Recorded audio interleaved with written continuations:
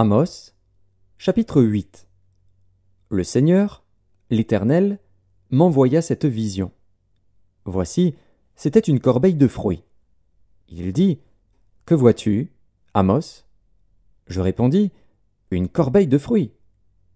Et l'Éternel me dit La fin est venue pour mon peuple d'Israël. Je ne lui pardonnerai plus. En ce jour-là, les champs du palais seront des gémissements, dit le Seigneur l'Éternel. On jettera partout en silence une multitude de cadavres. Écoutez ceci, vous qui dévorez l'indigent et qui ruinez les malheureux du pays. Vous dites Quand la nouvelle lune sera-t-elle passée, afin que nous vendions du blé? Quand finira le sabbat, afin que nous ouvrions les greniers? Nous diminuerons les nous augmenterons le prix, nous falsifierons les balances pour tromper.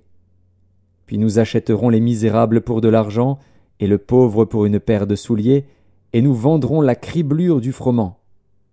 L'Éternel l'a juré par la gloire de Jacob, je n'oublierai jamais aucune de leurs œuvres.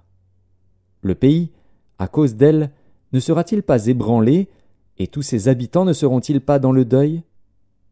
Le pays montera tout entier comme le fleuve, il se soulèvera et s'affaissera comme le fleuve d'Égypte. En ce jour-là, dit le Seigneur, l'Éternel, je ferai coucher le soleil à midi, et j'obscurcirai la terre en plein jour. Je changerai vos fêtes en deuil, et tous vos chants en lamentation, je couvrirai de sacs tous les reins, et je rendrai chauves toutes les têtes. Je mettrai le pays dans le deuil comme pour un fils unique, et sa fin sera comme un jour d'amertume.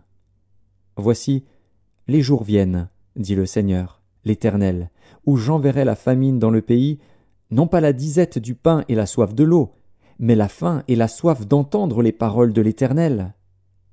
Ils seront alors errants d'une mer à l'autre, du septentrion à l'orient, ils iront çà et là pour chercher la parole de l'Éternel, et ils ne la trouveront pas. En ce jour, les belles jeunes filles et les jeunes hommes mourront de soif. Ils jurent par le péché de Samarie, et ils disent Vive ton Dieu, Dan, vive la voix de Ber Sheba mais ils tomberont et ne se relèveront plus.